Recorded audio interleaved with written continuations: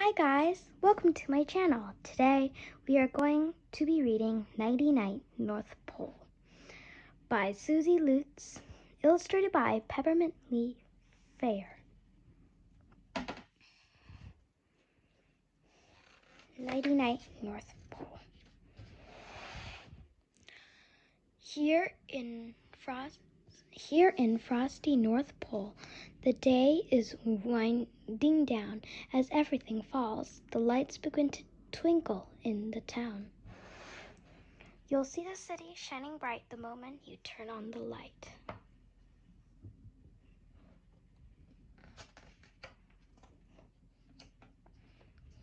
A million magic snowflakes are glistening in the sky and all the elves are gliding home. It's time for Betty Bye.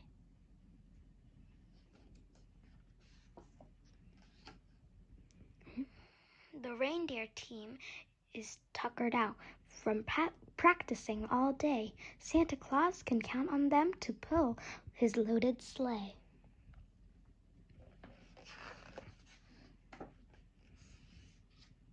When bedtime comes, their shiny bells go neatly in a bin.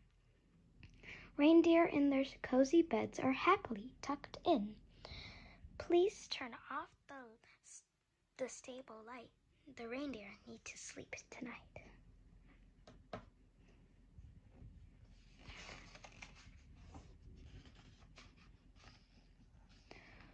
When elves are busy building toys, they also like to sing. They've really had to bounce along to finish everything.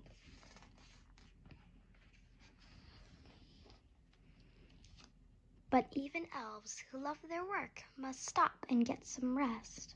A big bell rings and they all sing, We did our very best. Last one out turns off the light. Will it be your turn tonight?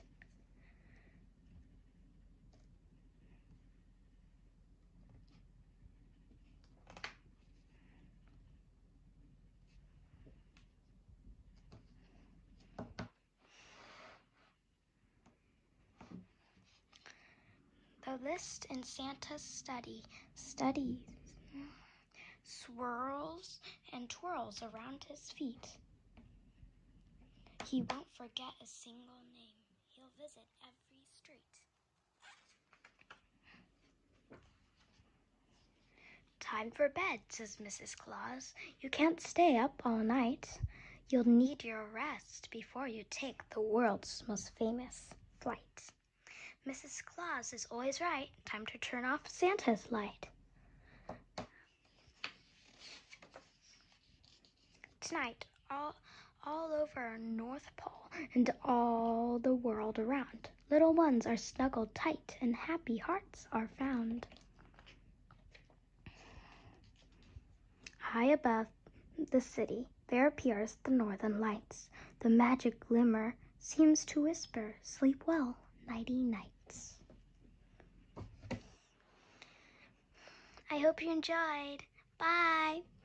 Please subscribe.